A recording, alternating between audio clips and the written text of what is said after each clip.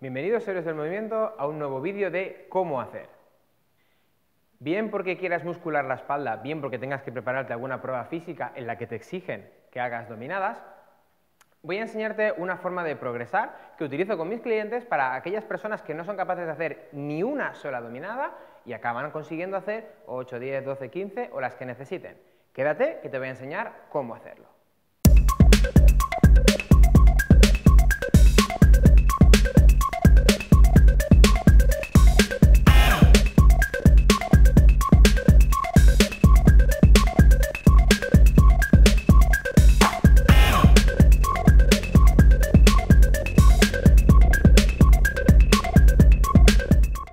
Antes de comenzar con la explicación, necesito explicaros los dos errores más comunes a la hora de hacer eh, dominadas. El primero es que no se bloquean las escápulas, se dejan relajadas. Entonces, al dejarse relajadas, no podemos ejecutar la técnica correctamente. Y el segundo error es que los hombros vienen hacia adelante y en rotación interna. Eso lo que hace es que tampoco permite trabajar al dorsal en la posición más óptima, ni tampoco los hombros. Bueno, entonces, en primer lugar, os voy a enseñar cómo no se hace una dominada y la siguiente será cómo ejecutar correctamente una dominada. Fijaros, si yo me cojo,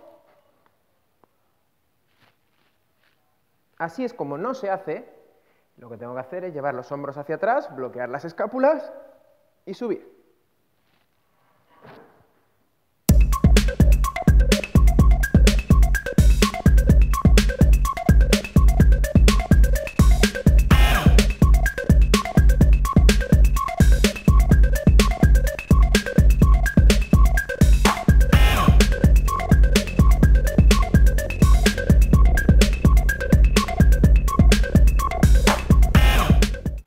Bueno, pues como espero que hayáis podido apreciar, a la hora de hacer una, dominada correctamente hay que llevar los hombros hacia atrás, bloqueando las escápulas y sacando el pecho para poder subir con la, barbilla directamente a la barra. Pero como es lógico, si acabas de empezar a hacer dominadas, eh, lo más probable es que no te salga bien. Entonces voy a enseñaros cómo hacer una dominada para principiantes. Por lo tanto, voy a enseñaros una progresión de seis ejercicios distintos, empezando desde lo más fácil hasta el más complicado. Al final realmente la progresión en lo que consiste es en ir haciendo ejercicios cada vez más complicados. Al principio se asemejan muy poquito a una dominada y conforme vamos llegando al final cada vez es más parecido y simula más la situación real de una dominada. Bueno, yo los ejercicios os los voy a enseñar con un TRX, pero también los podéis hacer en una máquina Smith en el gimnasio, por ejemplo, o con una máquina de poleas que tenga una polea alta en la que resista vuestro peso. ¿vale? Vamos a empezar con el primero. Vamos a trabajar la protracción, protracción de escápulas, ¿vale? Ese gesto que os he dicho que cuando hacemos la dominada las escápulas no se bloquean y vienen hacia adelante también los hombros, pues vamos a practicar llevar los hombros y las escápulas hacia atrás. Para eso, fijaros, cojo aquí el TRX, el agarre tiene que estar muy alto, ¿eh? porque si no lo que hacéis es que os sentáis en el suelo. Y desde aquí, fijaros, las manos mirando hacia adelante, dejo caer las caderas y mi peso hacia abajo, y desde aquí simplemente voy a traer las escápulas hacia el centro de la espalda, elevando los hombros.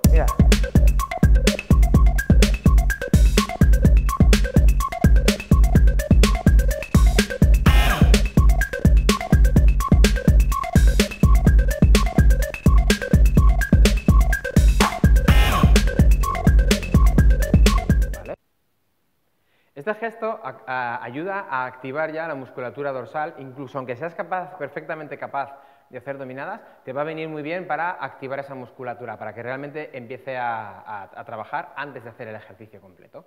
¿vale? El segundo ejercicio que os planteo es hacer el gesto de la dominada utilizando estas cuerdas. Entonces, lo que voy a hacer es que mantengo los pies en el suelo, entonces las piernas me van a ayudar en parte a elevar mi propio peso corporal. Fijaros, dejo las manos mirando hacia adelante, traigo los pies más o menos en la vertical del agarre, bajo el culete, desde aquí voy a tirar ahí arriba.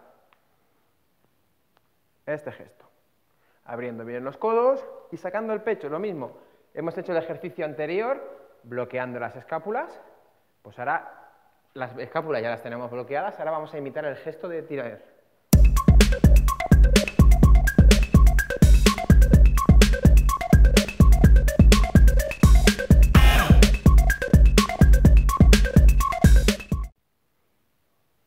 vamos a seguir con la progresión y en lugar de dejar los pies en el suelo, que es perfectamente estable, y en caso de eh, que me agote, me ayudan las piernas a levantarme, vamos a quitar parte de ese apoyo. Entonces lo que vamos a hacer es que apoyamos los pies en un, en un fútbol, ¿vale?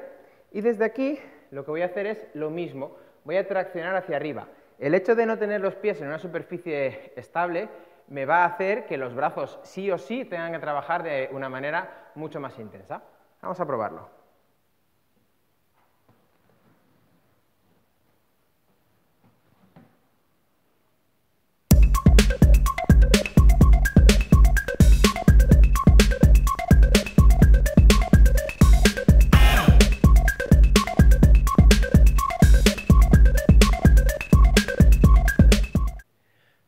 Cuarto ejercicio que os traigo dentro de la progresión, vamos a trabajar un poco la fase excéntrica del movimiento, que también nos va a ayudar a coger mucha fuerza. Si no sabéis la diferencia entre concéntrico y excéntrico, pulsa aquí arriba y puedes ver un vídeo específico sobre esto.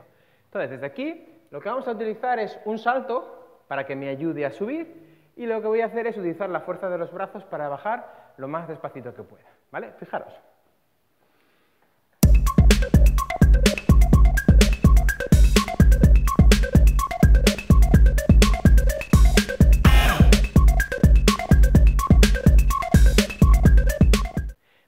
El siguiente ejercicio, en lugar del TRX, voy a utilizar un elástico. Si no sabéis los diferentes tipos elásticos que hay, pulsa aquí arriba y mira un vídeo específico también sobre los tipos de eh, elásticos que existen. En este caso voy a utilizar este, que lo que hace es que ejerce 40 kilos de fuerza. Por lo tanto, si peso 80, lo que hace es que me quita la mitad de mi peso corporal. ¿Qué significa eso? Que unas dominadas con 80 kilos a lo mejor no puedo hacerlas, pero unas dominadas con 40 kilos sí. Entonces, las engancho a la barra y voy a, enseñaros cómo lo hago.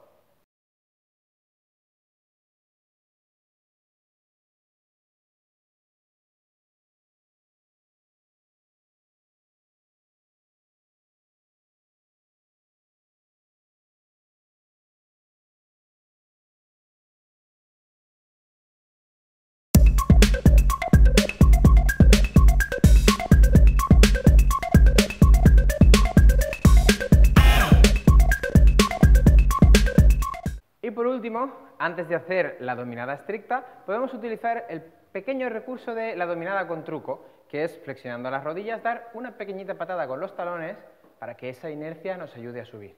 Fijaros.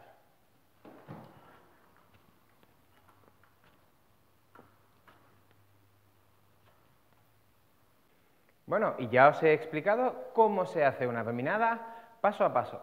No os perdáis los siguientes vídeos, que seguro, seguro que también os parecen muy interesantes. Me voy a subir arriba la barra, ¿eh?